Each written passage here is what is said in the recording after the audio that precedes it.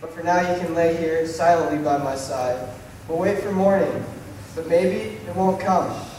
It's raining tonight, but tomorrow it will be dry. It doesn't matter how much change takes place between night and day, day and night.